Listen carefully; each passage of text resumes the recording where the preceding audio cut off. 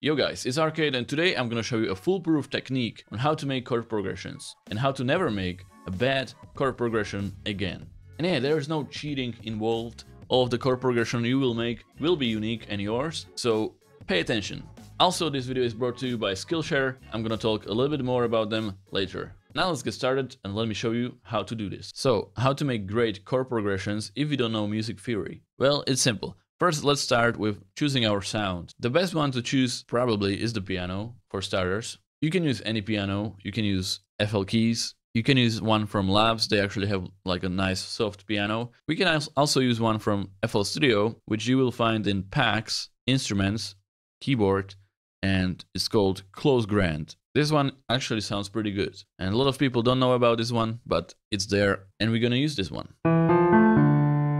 So first we want to go to piano roll by right clicking, choosing piano roll, and this is where we are going to work. So the first thing, and probably the most important thing, is to set it up. So this is how it should look.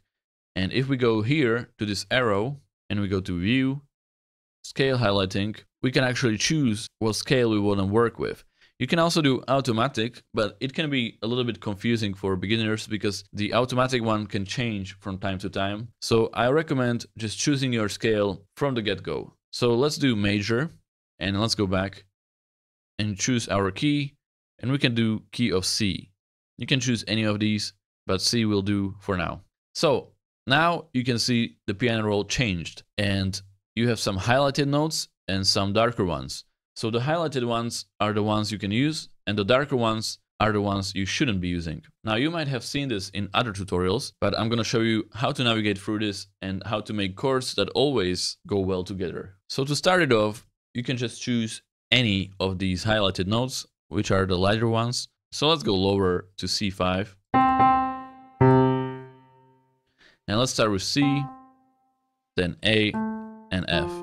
So these are our bass notes. Now to make a chord, it's really simple. You leave three spaces in between the note, and then you put a note on the fourth one, and then you leave two spaces between and put a note on the third one. And this is a major chord. And as you can see, if we stay in the right key, these will always be on the highlighted notes. So let's do it for the next one. But this time, if you want to leave three spaces, as I showed you before, and put a note on the fourth one, you'll land on the darker key which is not highlighted, which means you cannot use it. So what happens then is you need to do a minor chord instead, which means you leave two spaces in between and put a note on the third one and then three spaces and put a note on the fourth one. So let me repeat that because it's a little bit confusing. You hear a lot of numbers, but if you want to create a major chord, there will be three spaces and then two spaces. And that's a major chord. And if you want to create a minor chord, there will be two spaces and then three spaces. As you could see, if you don't know whether to create a minor or a major chord, well, the highlighted notes sort of tell you which one it needs to be, because it won't let you to create a minor chord if there needs to be a major chord. So just remember, you cannot use the darker notes, so always land on the highlighted one. So if you would want to create a minor chord here, which is two spaces and then three, this is how it would look. But as you can see, we have it on the darker part of the grid, and it cannot be there, so you need to move this note on the highlighted one and then we have a major chord, three spaces and two spaces. That being said, sometimes it happens that neither one of those works. So what do you do then? So let's see, if we go to C and then, you know, there's B and it's highlighted, so we can use it, right? So we go to B. Now let's create that chord again. So we can see there's a highlighted note here, which is the third one, and leaving two spaces, which is good, right? We would think that we can do a minor chord here. But then you need three spaces and put a note on the fourth one, which is here. But this one is dark, so we cannot use it. And here is how it sounds. So if we do this, we actually are not following the right key. We are not in C major anymore. And if you want to use the highlighted one, you just create a weird chord that doesn't work. So what do you do in this case if you want to stick to the right key, which you chose, you just don't use this chord because it doesn't fit in the key you are using. So if you end up in a situation where leaving two spaces and then three spaces or three spaces and then two spaces doesn't end up on the highlighted notes, just do not use that chord. It is as simple as that. So just remove it and try another one, like right here. That works. So yeah, this is how you do it. It's actually really simple and it never fails. So as I said before, you don't really need music theory for this technique, but if you do want to learn more about music theory and learn how to make chords and melodies, then check out Skillshare, the sponsor of today's video. Skillshare is a platform where you can learn a lot of new skills. It can be about video editing, graphic design, marketing, and even music, which is probably what you are the most interested in. So if you want to learn more about music theory, how to play the piano, how to use FL Studio, this would be the right place to go. You have tons of classes by professionals explaining everything in detail, and these are not like short YouTube videos, these are full classes that can take a while to watch, but they do teach you so much more. And right now I would recommend this class by Fernando Arruda, which is about music theory, but instead of explaining it on a piano, he explains it on a MIDI grid. So that is what I recommend. If you are more interested in learning about FL Studio, we can just type in FL Studio in the search bar and you'll have tons of classes about FL Studio for beginners and advanced users. So the first 1000 people who click the link below will actually get a one month free trial of Skillshare Premium membership. That means you get access to all of these classes for one month for free. So check out the link below, I think it's a great opportunity to just improve your skills. Now let's get back to the video. So let's try a different scale. I'm gonna go here, view, scale highlighting, and I'm gonna do minor natural. So we have a minor scale now, and we have different notes that we can use and different ones that we cannot use. But same rules apply. So let's create an actual chord progression here. So I'm gonna start with C, then maybe A sharp,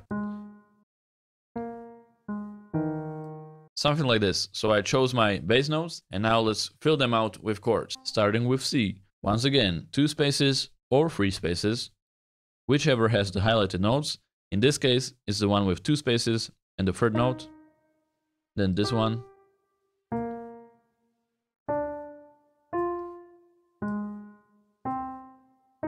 As you can see, once you get it, it's really simple. You just fill in the notes.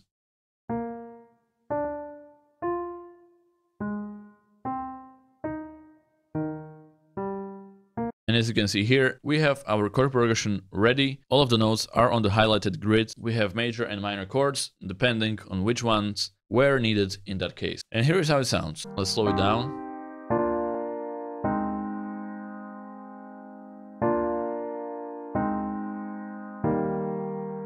Okay, now we have a chord progression that is sort of boring, but it works. You can definitely make a song out of this. Let's make it more spicy, I guess. So the first thing you can do is select all of your bass notes, which are the lowest notes you chose. So hold Control and press mouse and hold Shift if you want to select multiple ones. And then once they are selected, hold Shift and move them one octave lower. One octave means if you're starting with C5, you want to end up on C4. So hold Shift, move it.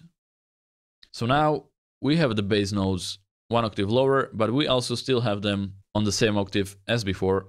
And it sounds like this.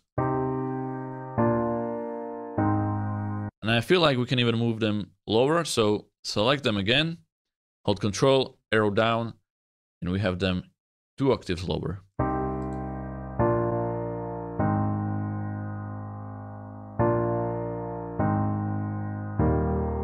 And now we have a nice chord progression with this deep bass in it. Let's work on it some more. If you want to make these chords more exciting, you can add more highlighted notes.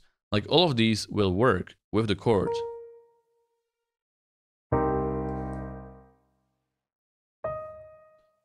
So just trial and error here, but always use the highlighted notes, of course.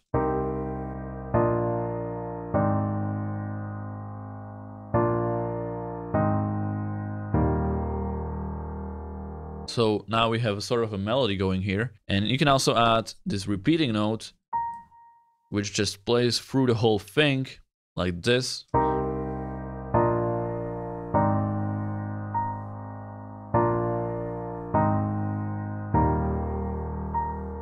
We can also do some volume variations here, like so.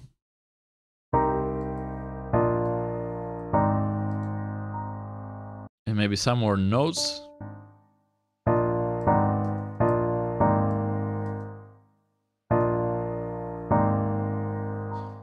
To make this chord more exciting. Of course, you can try different ones, but some of them are not as good as the others. So always preview it and if you like what you hear, keep it there. If you don't, change it.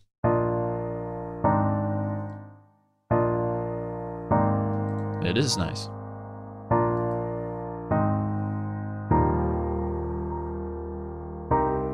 Okay, I like that. So another thing you can do if you have your chords, you can invert them, which means if some of the chords is like too low or too high, you can take any of these notes you already have placed, like this lower one, and press Control and arrow up to put it octave up. That is an inverted chord. It's still the same chord, but now the notes are in different order.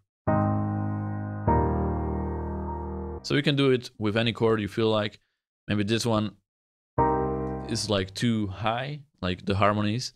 So you take the upper note and put it lower. So instead of this, you have this. So it's still the same chord, just different order. So now we have a pretty exciting chord progression here.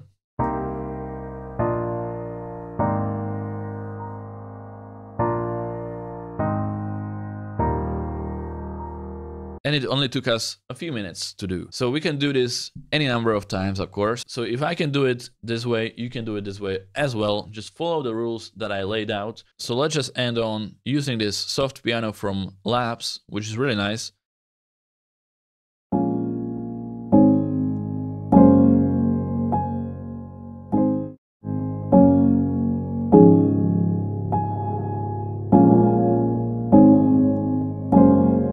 Even make a melody to it using the highlighted notes.